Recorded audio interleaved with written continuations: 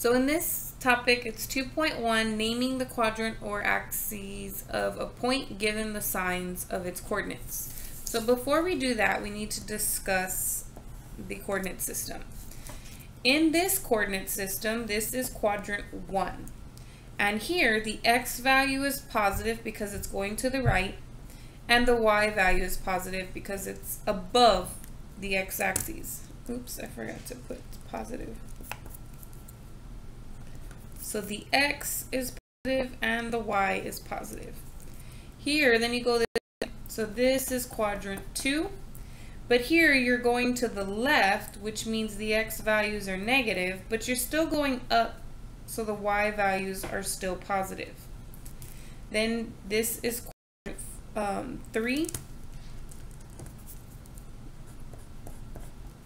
And so here from the center or the origin, I'm going to the left, so the x value is negative, but then I'm also going down, so the y value is also negative. And last but not least, this is quadrant 4.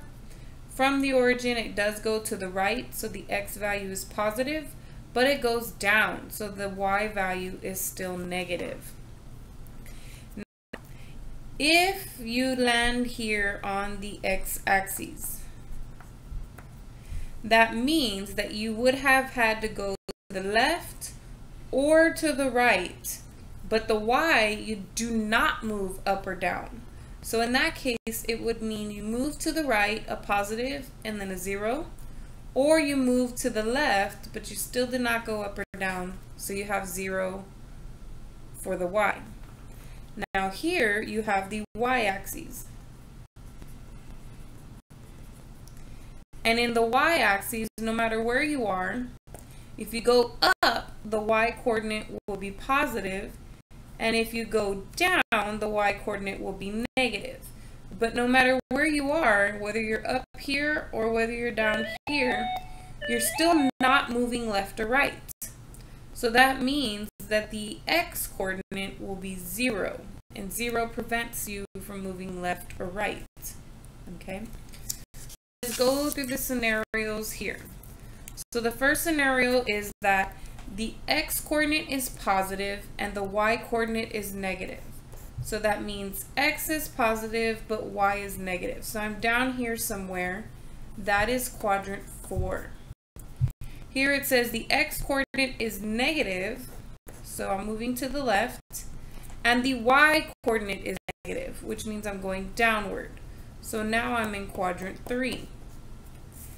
Here it says the x-coordinate is negative, so I'm over here somewhere, and the y-coordinate is positive, so that means I'm up here.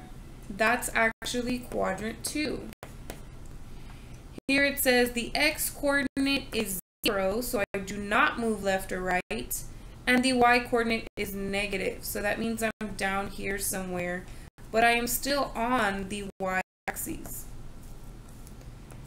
Then in this scenario, it says the x-coordinate is positive and the y-coordinate is positive. So I go up, that puts me in quadrant 1.